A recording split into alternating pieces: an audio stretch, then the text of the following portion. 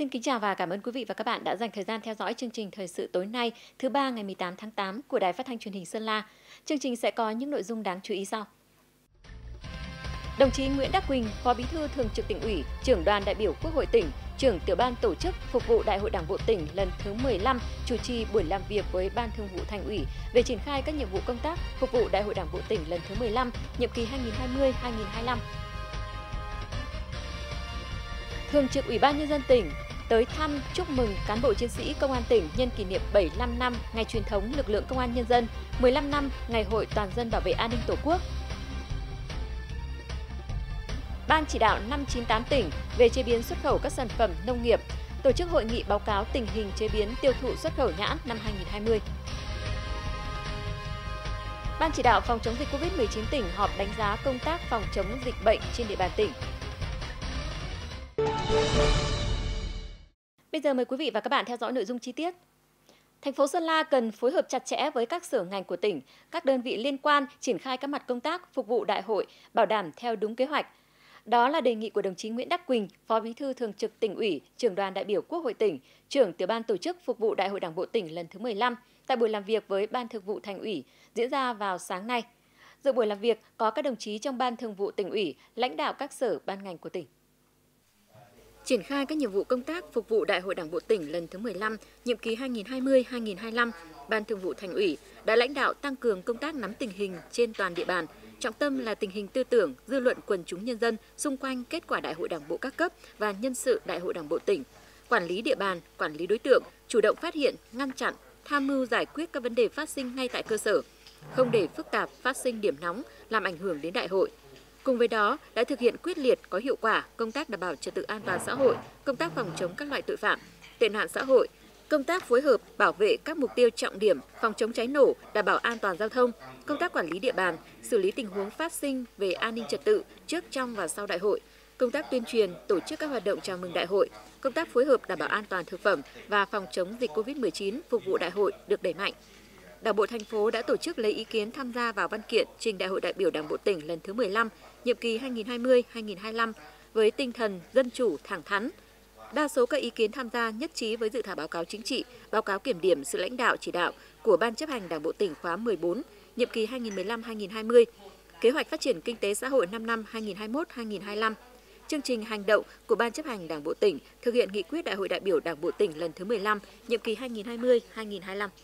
Phát biểu kết luận cuộc làm việc, đồng chí Nguyễn Đắc Quỳnh đề nghị thành phố Sơn La tập trung tuyên truyền về Đại hội Đảng bộ tỉnh lần thứ 15, nhiệm kỳ 2020-2025, tiếp tục tăng cường công tác tuần tra, phòng ngừa tội phạm, phát huy vai trò nhóm liên gia tự quản, triển khai có hiệu quả kế hoạch cao điểm tấn công chấn áp các loại tội phạm, đảm bảo an ninh trật tự trên địa bàn, dự báo các tình huống xảy ra để có phương án xử lý kịp thời, chủ động ra soát, điều tra xác minh các trường hợp đi đến từ vùng dịch về địa bàn, giám sát, phát hiện và tổ chức cách ly, xử lý kịp thời các ca nghi ngờ mắc COVID-19 tại địa bàn nếu có, đảm bảo an toàn cho Đại hội Đảng bộ tỉnh lần thứ 15, nhiệm kỳ 2020-2025 thành công tốt đẹp. Sáng nay,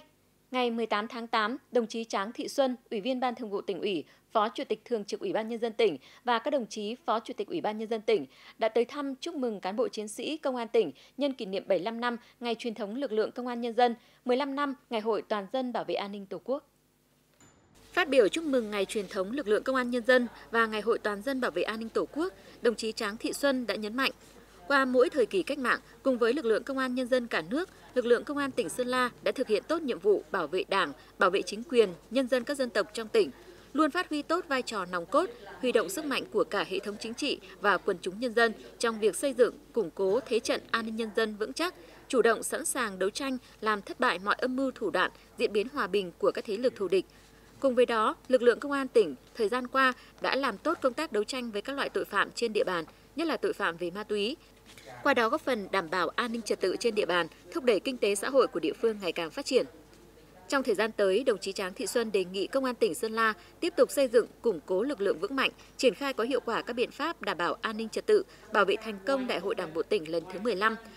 phối hợp chặt chẽ với các lực lượng quân sự, biên phòng trên địa bàn tỉnh làm tốt công tác phòng chống dịch COVID-19, tiếp tục ngăn chặn, truy quét những điểm nóng, đẩy lùi tệ nạn xã hội và các loại tội phạm, góp phần ổn định xã hội, tạo điều kiện thu hút đầu tư, phát triển kinh tế, xây dựng quê hương Sơn La ngày càng giàu đẹp. Chiều ngày 17 tháng 8, đồng chí Hà Trung Chiến, Ủy viên Ban Thường vụ tỉnh ủy, Bí thư Thành ủy Sơn La đã chủ trì hội nghị Ban chấp hành Đảng bộ thành phố khóa 19.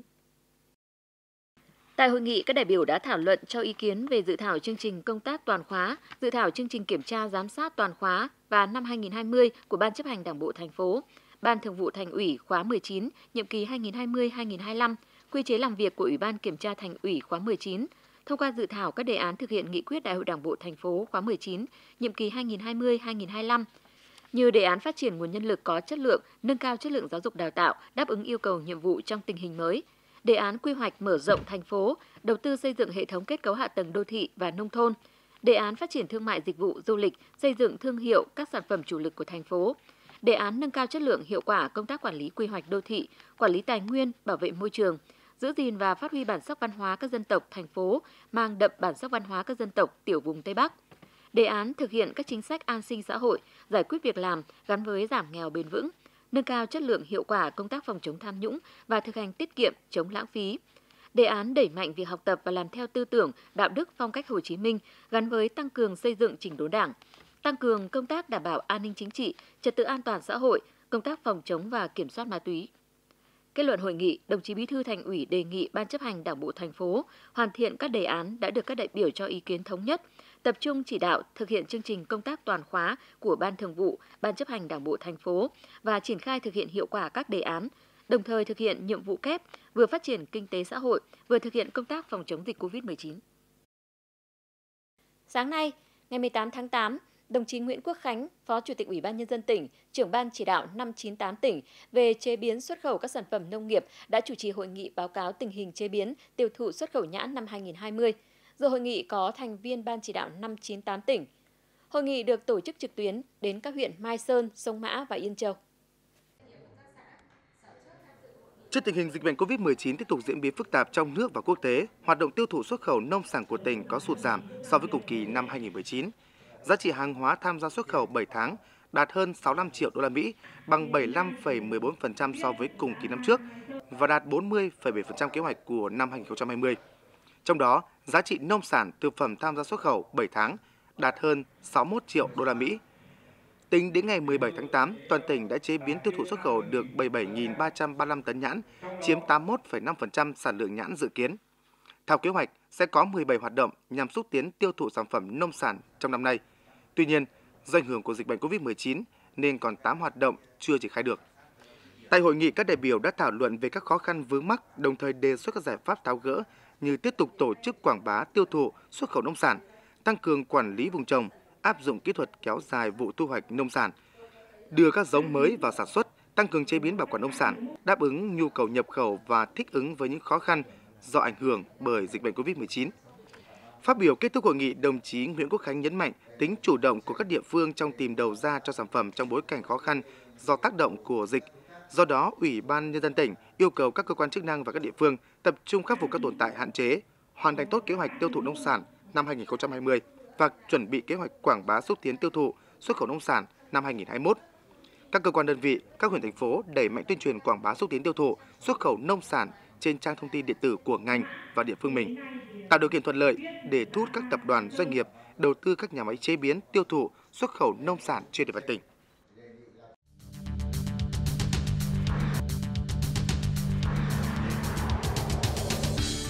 Ngành y tế phối hợp chặt chẽ với ngành giao thông vận tải và các huyện thành phố, kiểm soát chặt chẽ, cách ly kịp thời người đi từ vùng có dịch về địa bàn tỉnh, nắm chắc tình hình người nước ngoài đi du lịch, làm việc tại tỉnh, hạn chế thấp nhất nguồn lây nhiễm vào địa bàn tỉnh. Đây là ý kiến chỉ đạo của đồng chí Phạm Văn Thủy, Phó Chủ tịch Ủy ban Nhân dân tỉnh, Phó trưởng Ban chỉ đạo phòng chống dịch COVID-19 tỉnh tại cuộc họp của Ban chỉ đạo phòng chống dịch COVID-19 tỉnh sáng ngày 18 tháng 8. Hiện tại tỉnh chưa có ca bệnh xâm nhập, có 4 trường hợp là F1, một trường hợp liên quan đến bệnh nhân 751 và 3 trường hợp đi từ Nha Trang, Khánh Hòa trên máy bay số hiệu VJ770 liên quan đến thông báo khẩn số 27 của Bộ Y tế đã được xét nghiệm 2 lần cho kết quả âm tính với SARS-CoV-2. F1 thì ờ, có 4 trường hợp thì chúng rất là may mắn là chúng ta không có trường hợp nào dương tính và trong ngày hôm nay ngày mai chúng tôi sẽ cho tiếp tục lấy mẫu lần 3 bởi vì thôi ta có ít F1 ta cứ làm thật cẩn thận cho nó làm 3 lần. Nhưng mà F2 là tương đối nhiều cho nên là F2 bây giờ tính cộng cả số bộ đội khoảng 46 người cộng với cái số mà trên địa bàn thành phố này là khoảng 50 người như vậy chúng ta có gần 100 F2 thế nhưng mà cái F2 của chúng ta đến bây giờ thì cũng rất là ổn định không có ai có biểu hiện gì.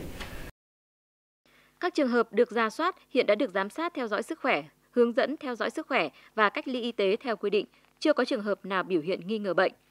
Từ ngày 25 tháng 7 đến ngày 17 tháng 8 năm 2020, toàn tỉnh đã lấy 57 mẫu, trong đó có 16 mẫu đi từ nước ngoài về, 41 đi từ các tỉnh có dịch về, kết quả xét nghiệm đều cho âm tính với SARS-CoV-2.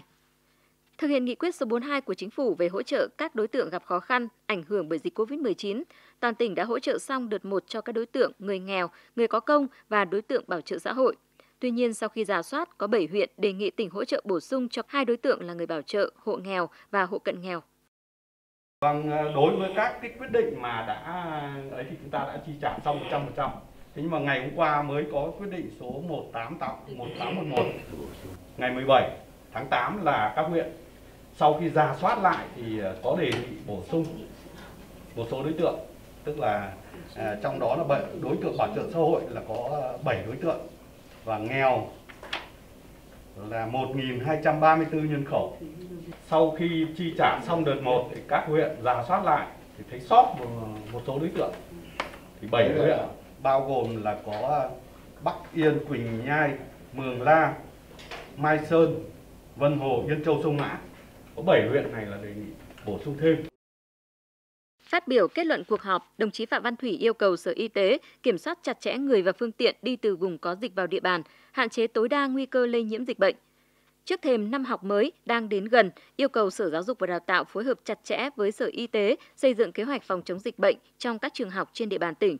Lực lượng biên phòng, công an, quân đội phối hợp kiểm soát chặt chẽ biên giới, không cho các đối tượng nhập cảnh trái phép vào địa bàn tỉnh. Người nước ngoài đi du lịch trên địa bàn tỉnh và làm việc tại các chương trình dự án tại tỉnh – người Việt Nam, người Sơn La lao động tại nước ngoài về địa bàn tỉnh, ra soát các đối tượng được hỗ trợ bổ sung bị ảnh hưởng theo nghị quyết số 42 của chính phủ, tăng cường tuyên truyền cài đặt ứng dụng Bluezone cảnh báo nếu tiếp xúc gần với người nhiễm COVID-19. Tính đến 16 giờ hôm nay, ngày 18 tháng 8, toàn cầu đã ghi nhận trên 22 triệu ca nhiễm COVID-19, trong đó có gần 777.000 ca tử vong và hơn 14 triệu 770.000 bệnh nhân bình phục. Tại châu Mỹ, hai quốc gia chịu ảnh hưởng nặng nề nhất của đại dịch ở châu lục và trên thế giới là Mỹ và Brazil. Ấn Độ hiện có số ca mắc bệnh cao thứ ba thế giới và là tâm dịch của châu Á. Đáng chú ý, Hồng Kông có ca tái nhiễm sau 4 tháng hồi phục. Điều này cho thấy dịch COVID-19 đang diễn biến phức tạp. Ban chỉ đạo quốc gia phòng chống dịch COVID-19 cho biết nước ta đã có gần 1.000 ca mắc COVID-19, Tổng số người tiếp xúc gần và nhập cảnh từ vùng dịch đang được cách ly theo dõi sức khỏe là 87.670 người. Bộ Y tế cho biết, ổ dịch thứ hai mới nổi lên là Hải Dương. Tại Hà Nội cũng ghi nhận hơn 10 ca mắc COVID-19, đều liên quan đến Đà Nẵng. Bộ Y tế chỉ đạo ngành y tế các tỉnh thành phố có người nhiễm COVID-19 tập trung truy vết thật nhanh, khoanh vùng nhanh, lấy mẫu và xét nghiệm nhanh. Tới đây, Bộ sẽ chỉ đạo tất cả các bệnh viện, đặc biệt tại các bệnh viện trung ương, sẽ lập các labo có khả năng, năng lực xét nghiệm lớn, giúp tăng cường hỗ trợ địa phương trong trường hợp địa phương phát hiện dịch để chủ động xét nghiệm diện rộng. Liên quan đến việc Bộ Y tế đặt mua vaccine COVID-19 của Nga, Bộ Y tế cho biết nếu có thể mua được vẫn phải tuân thủ các quy định trong thử nghiệm của Việt Nam trước khi tiêm. Với diễn biến dịch như hiện nay, người dân phải thực hiện sống bình thường mới và tuân thủ các quy định của ngành y tế trong phòng chống dịch như cài ứng dụng Bluezone, nCoV để dễ dàng và nhanh chóng phát hiện những trường hợp nghi ngờ thường xuyên sát khuẩn tay, đeo khẩu trang nơi công cộng, hạn chế tập trung đông người.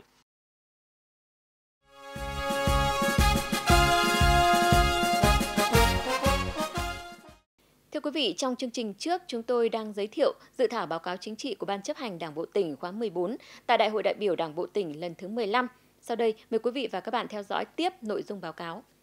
Công tác tổ chức xây dựng Đảng có bước chuyển biến tích cực. Đảng bộ tỉnh đã tổ chức quán triệt đầy đủ, kịp thời và cụ thể hóa các quy định của Đảng, pháp luật của nhà nước về công tác tổ chức cán bộ, tổ chức bộ máy của các cơ quan đảng, nhà nước, mặt trận tổ quốc và các tổ chức chính trị xã hội tiếp tục được sắp xếp kiện toàn theo yêu cầu nhiệm vụ mới. Tập trung chỉ đạo thực hiện việc sắp xếp tổ chức bộ máy theo nghị quyết số 18, nghị quyết số 19 ngày 25 tháng 10 năm 2017 của Ban chấp hành Trung ương khóa 12, chỉ đạo xây dựng ban hành 23 trên 24 đề án thực hiện theo từng lĩnh vực bảo đảm sát thực, phù hợp, hiệu quả. 9 trên 10 đề án thực hiện nghị quyết số 18 và 14 trên 14 đề án thực hiện nghị quyết số 19 đem lại kết quả thiết thực. Tổ chức triển khai thực hiện tốt từng khâu trong công tác cán bộ, tập trung xây dựng đội ngũ cán bộ, nhất là cán bộ chủ chốt, đủ năng lực, phẩm chất và uy tín, ngang tầm nhiệm vụ theo nghị quyết số 26 ngày 19 tháng 5 năm 2018 của Hội nghị lần thứ 7 Ban chấp hành Trung ương khóa 12. Công tác tuyển dụng, quy hoạch đào tạo, luân chuyển, bố trí cán bộ được triển khai tương đối đồng bộ. Việc bố trí giới thiệu ứng cử, bổ nhiệm cán bộ được thực hiện dân chủ, công khai, đúng quy định, quy chế bổ nhiệm cán bộ, tạo sự thống nhất cao trong đảng bộ. Công tác luân chuyển cán bộ được triển khai tích cực, chủ động bám sát quy hoạch gắn với đào tạo bồi dưỡng, góp phần nâng cao năng lực cán bộ. Công tác tạo nguồn quy hoạch cán bộ đã được triển khai theo đúng quy định, bảo đảm về số lượng nguồn đưa vào quy hoạch, về tiêu chuẩn, điều kiện, cơ cấu nữ, dân tộc thiểu số, độ tuổi, thường xuyên quan tâm công tác quy hoạch, đào tạo, bồi dưỡng cán bộ dân tộc thiểu số, bố trí quản lý và sử dụng cán bộ là người dân tộc thiểu số có trình độ, năng lực phù hợp với vị trí công tác, tiêu chuẩn chức danh, đáp ứng yêu cầu nhiệm vụ. Chú trọng đào tạo cán bộ cơ sở, chuyên môn nghiệp vụ, trong đó quan tâm lãnh đạo chỉ đạo, làm tốt công tác đào tạo trình độ lý luận chính trị, bồi dưỡng cán bộ, nhất là cán bộ trẻ, cán bộ nữ, cán bộ là người dân tộc thiểu số. Việc thi nâng ngạch công chức đã triển khai thành nền nếp. Công tác đánh giá, nhận xét cán bộ công chức viên chức nói chung, đánh giá cán bộ lãnh đạo diện tỉnh ủy quản lý nói riêng tại Đảng bộ tỉnh đã được triển khai thực hiện thận trọng, ngày càng có nền nếp, chặt chẽ, ngày càng bảo đảm công khai, dân chủ, công tâm, khách quan. Công tác đánh giá phân loại tổ chức đảng và đảng viên hàng năm được thực hiện nghiêm túc, làm cơ sở để lựa chọn bình xét tổ chức đảng, đảng viên. Năng lực lãnh đạo, sức chiến đấu của tổ chức đảng, chất lượng đội ngũ cán bộ đảng viên được nâng lên, chú trọng củng cố các cơ sở đảng yếu kém, xây dựng tổ chức đảng trong sạch vững mạnh, tăng cường công tác phát triển đảng viên ở những địa bàn khó khăn trong các cơ sở doanh nghiệp. Việc tạo nguồn phát triển đảng ở vùng đặc biệt khó khăn, các bản có ít đảng viên, chưa có chi bộ hoặc chi bộ thiếu bền vững có sự chuyển biến mạnh mẽ, chất lượng sinh hoạt chi bộ được nâng cao, thực hiện nghiêm nguyên tắc tập trung dân chủ trong sinh hoạt đảng, nêu cao tinh thần tự phê bình và phê bình. Số đảng viên mới được kết nạp hàng năm đều tăng, góp phần bảo đảm sự lãnh đạo của Đảng trên tất cả các lĩnh vực, địa bàn trong tỉnh. Công tác bảo vệ chính trị nội bộ được thực hiện chặt chẽ, nền nếp, thực hiện nghiêm các bước trong quy trình xem xét hồ sơ nhân sự, ra soát, thẩm tra, thẩm định về tiêu chuẩn, điều kiện, phẩm chất năng lực, uy tín của cán bộ theo quy định và tiêu chuẩn chính trị, góp phần xây dựng bảo vệ Đảng, bảo vệ chế độ, đảm bảo an ninh chính trị, ra soát, kiên quyết không để cán bộ có một trong những vấn đề có liên quan đến công tác bảo vệ chính trị nội bộ trong danh sách nhân sự về công tác cán bộ khi chưa có kết luận cụ thể rõ ràng về tiêu chuẩn chính trị. Công tác nội chính, phòng chống tham nhũng, cải cách tư pháp được tập trung thực hiện. Công tác phòng chống tham nhũng lãng phí được cấp ủy chính quyền các cấp quan tâm lãnh đạo chỉ đạo, đạt được kết quả tích cực. Nhận thức của cán bộ đảng viên về phòng chống tham nhũng được nâng lên, tiếp tục quán triệt triển khai kịp thời, ban hành các văn bản thực hiện nghị quyết, chỉ thị của Đảng, pháp luật của nhà nước về phòng chống tham nhũng lãng phí. Tăng cường công tác kiểm tra giám sát việc thực hiện các biện pháp phòng ngừa tham nhũng lãng phí, tập trung vào những lĩnh vực dễ phát sinh tiêu cực, tham nhũng, qua đó phát hiện và kịp thời chấn chỉnh những sai phạm, hạn chế thiếu sót, nâng cao trách nhiệm người đứng đầu trong thực hiện quy định của pháp luật về phòng chống tham nhũng, tăng cường lãnh đạo chỉ đạo các cơ quan đơn vị thực hiện phòng chống, phát hiện, xử lý tình trạng tham nhũng vặt, lợi ích nhóm. Công tác điều tra, truy tố xét xử, thi hành án và hoạt động bổ trợ tư pháp được thực hiện đúng pháp luật. Chất lượng tranh tụng tại phiên tòa từng bước nâng lên, cơ bản đáp ứng yêu cầu cải cách tư pháp, bảo đảm phán quyết của tòa án trên cơ sở luật pháp. Các vụ án phức tạp, dư luận xã hội quan tâm được tập trung chỉ đạo giải quyết kịp thời và theo đúng quy định của pháp luật công tác tiếp công dân, giải quyết đơn khiếu nại tố cáo kiến nghị, phản ánh của công dân, nhất là các vụ việc, đơn thư phức tạp kéo dài, dư luận xã hội quan tâm đã được tập trung lãnh đạo, chỉ đạo giải quyết, hạn chế khiếu kiện đông người, vượt cấp và không để xảy ra điểm nóng, gây mất an ninh trật tự. Công tác kiểm tra, giám sát và thi hành kỷ luật của Đảng được tăng cường, có hiệu lực hiệu quả hơn. Cấp ủy các cấp đã chủ động lãnh đạo và tổ chức thực hiện nhiệm vụ kiểm tra giám sát, tập trung chỉ đạo thực hiện việc khắc phục những khuyết điểm sau kiểm điểm theo nghị quyết Trung ương 4 khóa 11. Chú trọng kiểm tra, giám sát việc thi hành điều lệ đảng, các nguyên tắc tổ chức sinh hoạt đảng, việc thực hiện chức trách nhiệm vụ được giao, phẩm chất đạo đức lối sống và một số lĩnh vực dễ phát sinh sai phạm gắn với công tác phòng chống tham nhũng lãng phí, việc giải quyết đơn thư khiếu nại tố cáo, thi hành kỷ luật đối với tổ chức đảng, đảng viên, đảm bảo đúng quy định, xử lý nghiêm các tổ chức đảng và đảng viên có sai phạm, góp phần phòng ngừa vi phạm, tăng cường kỷ luật kỷ cương, chủ động nắm tình hình cán bộ đảng viên, nhất là đảng viên liên quan đến nhân sự đại hội, kiểm tra giám sát ngay từ khâu quy hoạch, luân chuyển, điều động, bổ nhiệm cán bộ, kịp thời giải quyết đơn thư khiếu nại tố cáo tổ chức đảng và đảng viên, nhất là những cán bộ trong quy hoạch, cán bộ chủ chốt để kết luận rõ ràng, minh bạch trước khi tiến hành đại hội đảng, thực hiện khắc phục, sửa chữa, xử lý nghiêm những khuyết điểm vi phạm. Công tác dân vận có nhiều đổi mới về nội dung và phương thức hoạt động, xây dựng và thực hiện tốt công tác dân vận trong hệ thống chính trị, đẩy mạnh công tác dân vận chính quyền và thực hiện quy chế dân chủ ở cơ sở. Các phong trào thi đua được triển khai hiệu quả, nhiều mô hình điển hình tiên tiến với cách làm mới, thiết thực gắn với các phong trào thi đua yêu nước ở cơ sở được đẩy mạnh và nhân rộng, nhất là các mô hình về dân vận khéo trong phát triển nông nghiệp, chương trình xây dựng nông thôn mới. Nhận thức của cán bộ đảng viên nhân dân về công tác dân tộc tôn giáo đã có sự chuyển biến rõ rệt. Những khó khăn, những vấn đề phức tạp nảy sinh ở cơ sở được kịp thời phát hiện và tập trung giải quyết, góp phần nâng cao vai trò và quyền làm chủ của nhân dân, vai trò của người có uy tín trong đồng bào dân tộc thiểu số tiếp tục được phát huy. Các mô hình tự quản ở khu dân cư được nhân rộng, góp phần nâng cao năng lực lãnh đạo, quản lý điều hành của các cấp ủy đảng, chính quyền và hoàn thành tốt các mục tiêu kinh tế xã hội ở mỗi địa phương cơ sở tăng cường đổi mới công tác dân vận, trọng tâm hướng về cơ sở, đa dạng hóa các hình thức vận động, tập hợp nhân dân, chăm lo nâng cao đời sống của nhân dân. Việc đẩy mạnh thực hiện quy chế dân chủ đã có tác động tích cực đến cuộc vận động xây dựng chỉnh đốn Đảng. Nhận thức về dân chủ và thực hành dân chủ trong các cấp ủy, chính quyền, mặt trận Tổ quốc và các tổ chức chính trị xã hội được nâng lên rõ rệt. Phương châm dân biết, dân bàn, dân làm, dân kiểm tra được thực hiện có hiệu quả – trách nhiệm của người đứng đầu, của cán bộ công chức về thực hiện dân chủ thể hiện rõ nét hơn, ban hành và thực hiện nghiêm quy định việc đối thoại trực tiếp giữa người đứng đầu cấp ủy, chính quyền các cấp, người đứng đầu các sở ban ngành cấp tỉnh với nhân dân. Quy định số 12 ngày 27 tháng 2 năm 2019 của Ban Thường vụ tỉnh ủy.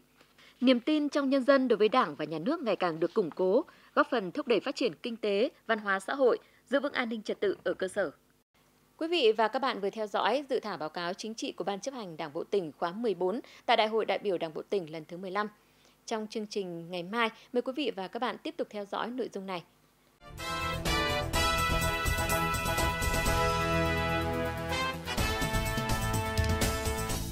Cùng với sự ra đời của chính quyền cách mạng, ngày 10 tháng 10 năm 1945, Ty Liêm Phóng Sơn La, tổ chức đầu tiên của lực lượng công an nhân dân Sơn La chính thức được thành lập được thành lập trong điều kiện vô cùng khó khăn gian khổ, nhưng với ý chí cách mạng kiên cường, lực lượng Công an Nhân dân Sơn La đã từng bước được xây dựng, trưởng thành. Từ các đội trung vệ đã phát triển thành các đội công an sung phong như Ba Vì, Tô Hiệu và các tổ điệp báo làm nhiệm vụ diệt tề, trừ gian, chấn áp, phân hóa, cải tạo giáo dục các phần tử phản động, bảo vệ an toàn cơ quan đầu não của tỉnh qua các lần di chuyển, sơ tán, góp phần củng cố, xây dựng và bảo vệ chính quyền cơ sở. Đặc biệt, lực lượng Công an Nhân dân Sơn La đã phối hợp với các lực lượng tấn công truy quét, làm tan rã các cụm phỉ lớn ở Thuận Châu, Sông Mã, Bắc Yên và Mường La, phục vụ thắng lợi chủ trương của Trung ương Đảng trong chiến dịch giải phóng Tây Bắc và chiến dịch lịch sử Điện Biên Phủ. Sau thắng lợi của cuộc kháng chiến chống thực dân Pháp, lực lượng Công an Sơn La đã sát cánh cùng quân và dân toàn tỉnh bước vào cuộc chiến tranh chống đế quốc Mỹ xâm lược. Cùng với Đảng bộ chính quyền và nhân dân các dân tộc trong tỉnh lực lượng Công an Nhân dân Sơn La đã chủ động thực hiện tốt chức năng tham mưu cho các ủy chính quyền các cấp trong công tác đảm bảo giữ vững an ninh trật tự trên địa bàn tỉnh, tăng cường lực lượng chi viện cho chiến trường miền Nam. Trong nhiệm vụ bảo đảm an ninh trật tự tại địa phương, lực lượng Công an Sơn La đã kiên quyết chấn áp các phần tử phản động, phát hiện và ngăn chặn nhiều vụ xưng vua, đón vua, nhen nhóm tổ chức phản động trong vùng đồng bào dân tộc thiểu số ở các huyện Mộc Châu, Mai Sơn, Mường La, Thuận Châu, Sông Mã, bảo vệ thắng lợi của vận động hợp tác hóa nông nghiệp, kết hợp hoàn thành cải cách dân chủ ở miền núi. Đồng thời, các chiến sĩ công an đã lan lộn với cơ sở, bám dân, xây dựng phong trào toàn dân bảo vệ an ninh Tổ quốc, phát động các phong trào bảo mật, phòng gian, xây dựng cơ quan, xí nghiệp an toàn, xây dựng xã vững mạnh về an ninh trật tự, xây dựng thế trận bảo vệ an ninh, xây dựng nhiều xã điển hình trong phong trào bảo vệ an ninh Tổ quốc, xây dựng các đơn vị công an huyện, công an xã theo hướng 4 tốt, 5 tốt, lực lượng Công an Nhân dân Sơn La đã góp phần quan trọng phục vụ thắng lợi cuộc kháng chiến chống đế quốc Mỹ xâm lược.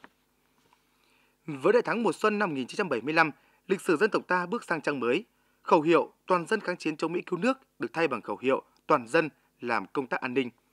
Cả nước tiến hành hàn gắn vết thương chiến tranh, từng bước khôi phục và phát triển kinh tế xã hội.